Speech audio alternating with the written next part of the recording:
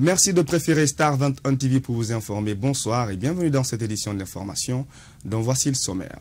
Sidia Touré, haut représentant du chef de l'État, a démissionné de son poste hier mardi. Les motifs de cette décision et les avis des citoyens sur ce sujet, vous les aurez dans cette édition. Les ministres de la République poursuivent leur présentation devant les élus du peuple à l'hémicycle. Ce mercredi, ils sont quatre à avoir défendu leur projet budgétaire 2019. C'est tout pour les titres. Les détails, c'est dans un instant.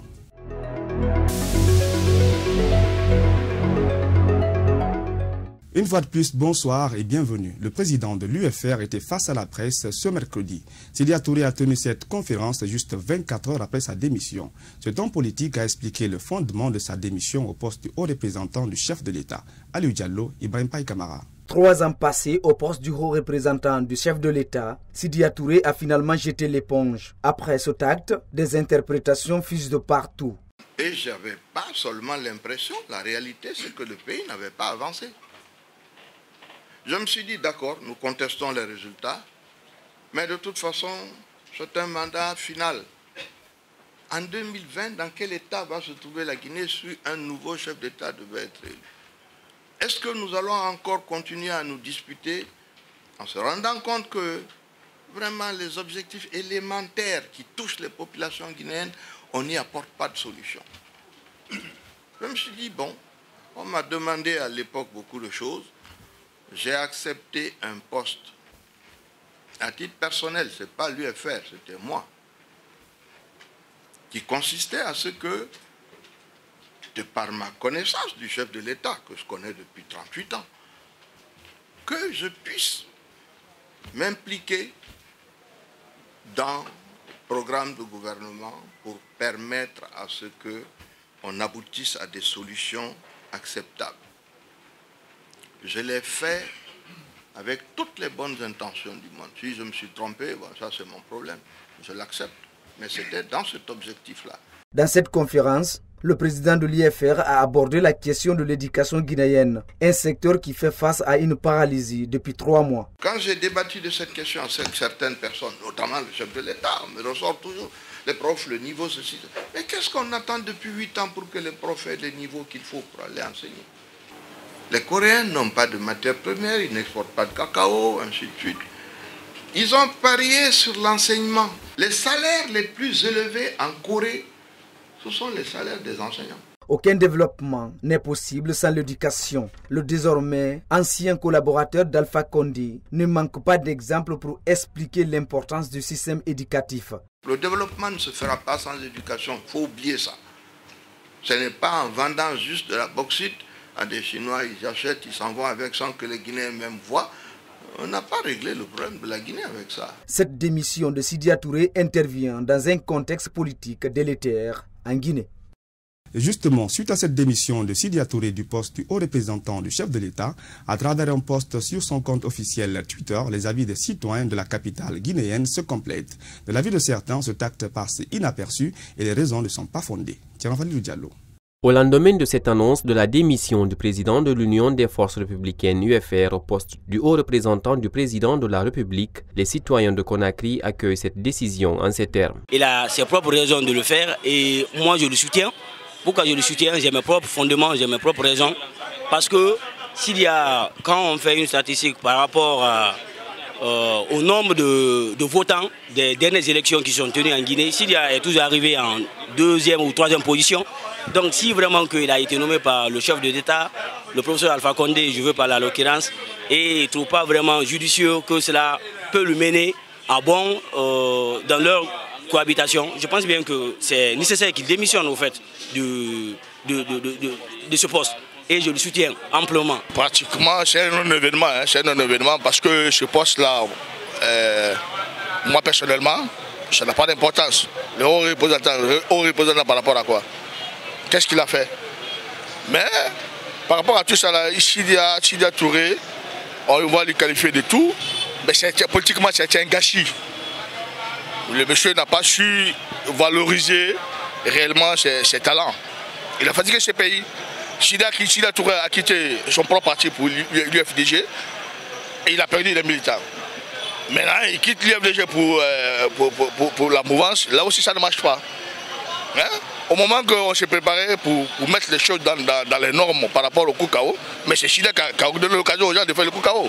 Quitter le navire gouvernemental de cette façon engage une sérieuse méditation. Est-ce le bon moment ou carrément il fallait tenir jusqu'au bout Sur ces questions, les avis divergent. Moi, personnellement, en tant que citoyen, je ne pense pas que c'était le moment opportun, à un moment critique de la situation dans laquelle la Guinée vit aujourd'hui.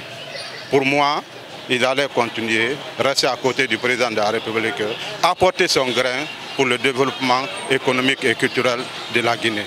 Mais je vois même qu'il a beaucoup retardé hein, dans ce processus parce que depuis qu'il a été nommé comme représentant de l'État, on n'a rien vu comme vraiment pesanteur positif hein, qu'il a été dans le temps pendant qu'il était le Premier ministre, autant de, de compter. Mais depuis qu'il a été nommé, vraiment, je n'ai pas vu euh, un travail qu'il a, qu'il a, a, pu mettre vraiment pour les Guinéens, afin que les gens puissent savoir que ouais, c'est un leader charismatique qu'il a été.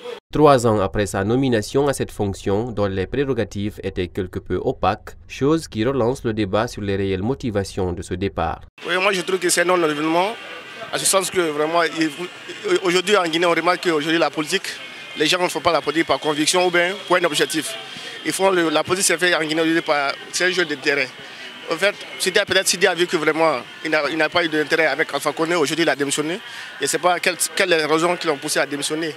Et avant de vraiment d'aller d'accepter le poste de haut président, il devait avoir connaître vraiment quels sont les objectifs, euh, à signer, les objectifs à, ses fonctions.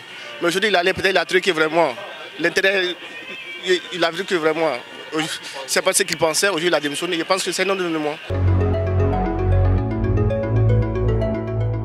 Je le disais en tête de chapitre, quatre autres ministres étaient ce mercredi à l'hémicycle face aux députés pour faire le point des activités réalisées durant l'année écoulée, mais aussi décliner leurs perspectives pour 2019.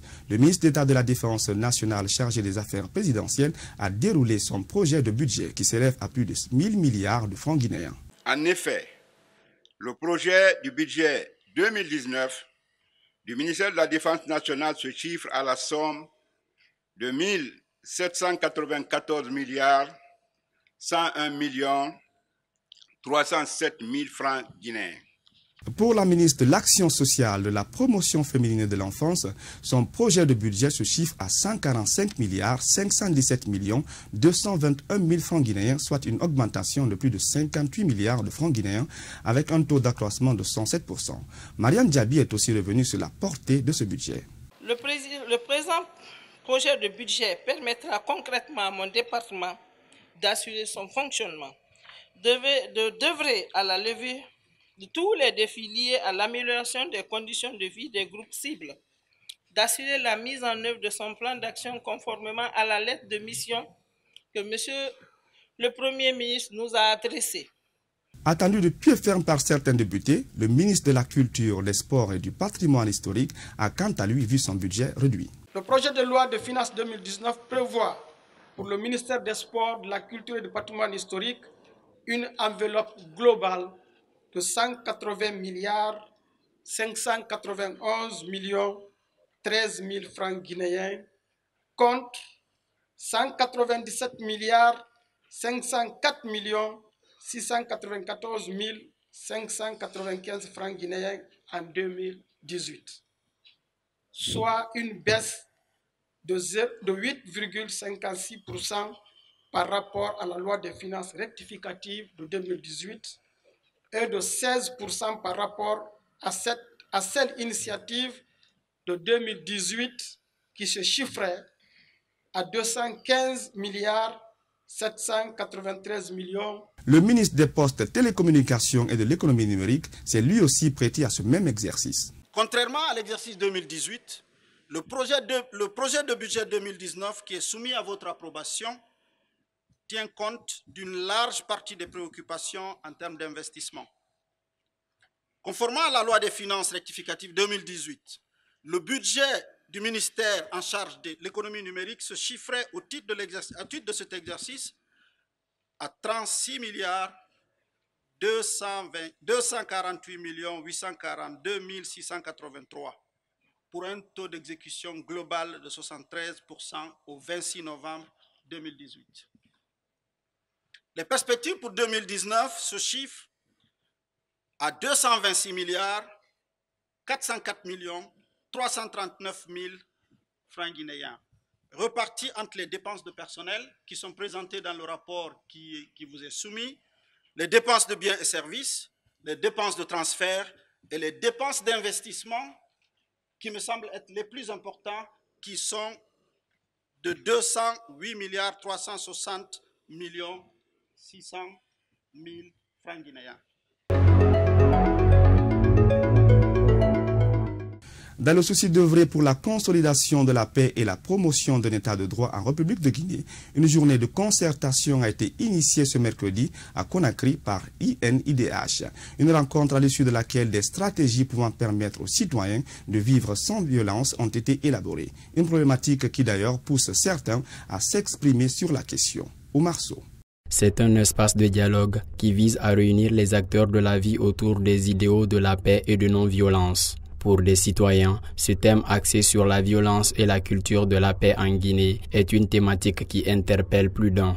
Les droits de l'homme, ou autrement appelés ici droits humains, ici sont un concept à la fois juridique, politique et philosophique. Donc nous ne devons pas accepter les violences, nous devons bannir les violences. Face aux multiples cas de violence enregistrés ces derniers temps dans le pays, certains optent pour une prise de conscience. Donc euh, moi d'abord personnellement à mon niveau il faut d'abord qu'il ait une prise de conscience, une éducation au niveau de la jeunesse guinéenne. Même son de cloche au niveau des acteurs de la société civile guinéenne qui pensent que la meilleure façon de protéger les droits de l'homme, c'est de prévenir les cas de violence. Aujourd'hui, la Guinée, quand on voit la diversité et le métissage qui est aujourd'hui en Guinée, on dirait qu'on a tort de recourir à, la violence parce que personne ne gagne au niveau, au niveau de la violence. En premier lieu, d'abord, le plus grand perdant, c'est la gouvernance. Parce que la gouvernance a besoin de la stabilité. La gouvernance a besoin, en quelque sorte, de, de, de, du concours de, tout, de tous les Guinéens. Le président de l'Institution nationale indépendante des droits humains a salué l'esprit de mobilisation qui a caractérisé cette rencontre. Par votre présence ici et maintenant, vous donnez une chance à la paix. Si on peut diagnostiquer le mal et proposer les solutions d'une paix durable à laquelle le peuple de Guinée a droit. Cette journée de concertation a connu la participation des forces de défense et de sécurité, des ONG de défense des droits de l'homme ainsi que des organisations féminines qui travaillent en faveur de la paix. Sport, on en parle dans cette édition. Wasselon Agency Communication a procédé ce mardi au tirage au sort des quarts de finale du tournoi corporatif des médias Feu Abdoulaïba, doté de trophée Antonio Soare. Les étoiles de Star 21 TV croiseront le fer avec les ouragans de la RTG ce jeudi au terrain de proximité de Nongo. Le point avec Abdoulaye Foufana. C'est la RTG. La RTG Star 21 TV. Star 21 C'est la première affiche des quarts de finale de la troisième édition du tournoi Wassolo en Jancy. Après sa qualification sur les séances pathétiques des tirs au but face à Gangan RTV 4 contre 3, la Téléstar 21 TV hérite encore du lourd. La RTG champion en titre avait éliminé la radio Global FM. Menée dès l'entame de jeu, la RTG a égalisé et marqué le but de la victoire en 5 minutes, ce qui explique la recherche du groupe. Omar So, journaliste reporter et ailier droit de l'équipe de Star 21 TV, nous dit en off. C'est vrai que la RTG a une bonne équipe. La preuve est qu'ils sont champions en titre. Ils ont renversé Global en toute fin de partie. Donc ça prouve qu'ils sont matures. Nous sommes une jeune équipe. Nous sommes à notre première. Personne ne nous attendait contre Gangan. Mais nous avons répondu présent. Bien que les adversaires ne sont pas les mêmes, mais nous avons les moyens pour le faire. Oui, on peut battre la RTG. Voici les affiches complètes des quarts de finale. Jeudi, RTG, Star 21 TV. Vendredi, Radio Parlementaire 6 Média. Samedi, Adafo Média, SPPG. Dimanche, Voix de Freya, Familia FM. Bonne chance à l'équipe de Star 21 TV. Suite au démarrage du championnat national ce week-end, la Ligue guinéenne de football professionnel a organisé une rencontre avec les officiers médias des clubs de Ligue 1. Objectif, les outils en vue de cette nouvelle saison. Suivez ces bénéficiaires au micro de notre reporter. Euh, au sortir de cette euh, réunion de concertation entre euh, le comité exécutif de la Ligue guinéenne de football professionnel et les officiers médias des différents clubs de première division de la République de Guinée, je pense que c'est une première et, et de l'autre côté c'est une innovation pour moi parce que c'est la première fois en début de saison que la Ligue appelle ses partenaires directs, c'est-à-dire ceux-là euh, qui font... Euh, qui font partir euh, l'image de ce football guinéen très loin, et très loin de nos frontières. Bon, ce qu'on peut retenir, je pense que c'était une rencontre d'échange très intéressante. Euh, Abdoulaye Momo, en ce sens que euh, on dirait que la Ligue avait déjà retardé par rapport euh, à cette invitation des, officiers médias des différents clubs pour parler sur la question d'une communication, de mobilisation autour des différentes rencontres de cette Ligue guinéenne de football. J'avoue que la Ligue a un travail colossal qui doit être soutenu par nous, les officiers médias, au niveau de nos, différents clubs. C'est en ce sens que la Ligue nous a conviés ce matin pour parler autour de cette question euh, de communication sur tous les plans de marketing à un moment donné au niveau de nos clubs.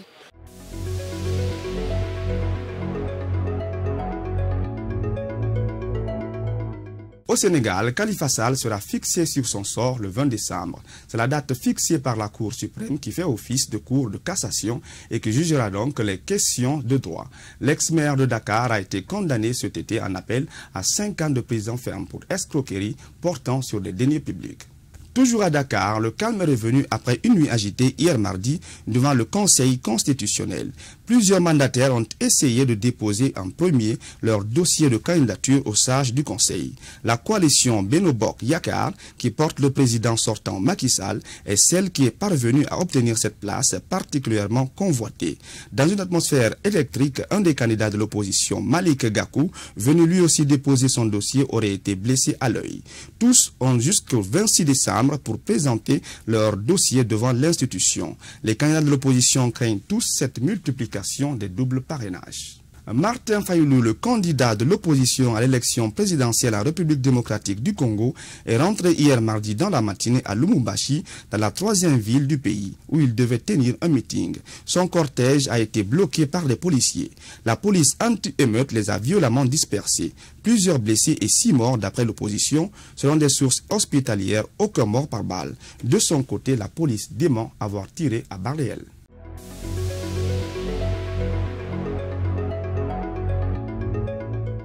À Paris, le marché de Noël de Strasbourg a été l'objet d'une attaque terroriste ce mardi 11 décembre. Trois morts et 14 blessés, dont 6 en état grave, est le bilan de cette fusillade. Selon le ministre de l'Intérieur qui a annoncé que le pays passait en urgence attentat. La motivation terroriste de l'attaque n'est pas encore établie. Le tireur est actuellement recherché par la police. C'est aux environs de 19h qu'un individu armé est entré dans le périmètre du marché de Noël et a ouvert le feu. Deux morts et 14 blessés, dont cette grave est le bilan de cette fusillade. En raison des menaces terroristes qui pèsent sur la ville depuis des années, Strasbourg bénéficie d'un dispositif de sécurité renforcé. 250 policiers nationaux, une cinquantaine de policiers municipaux et des forces de l'ordre, 160 agents de sécurité privée, en plus des dizaines de militaires de l'opération Sentinelle qui patrouillent, sont entre autres le dispositif mis en place par le gouvernement français afin de sécuriser le centre piétonnier de Strasbourg où se déploie en plusieurs endroits le célèbre marché de Noël avec plus de 300 petits chalets. A noter que le tireur a été identifié, fiché S, il se prénomme Shérif et a 29 ans. Il est né et vit à Strasbourg et selon les autorités, il est connu de la justice pour des frais de droit commun, des faits de violence en France mais aussi en Allemagne où il avait été condamné pour vol aggravé. Mais il apparaissait également sur le radar de la Direction générale de la sécurité intérieure, fiché pour radicalisation. D'ailleurs, selon le procureur de Paris, Rémi Edz, quatre proches du présumé auteur de cette fusillade sont en garde à vue. Et ma téléspectateurs de Star 21 TV, ainsi pour fin cette édition d'information. À tous, merci d'avoir suivi et passez une excellente suite de programmes en de Star 21 TV. Bonsoir.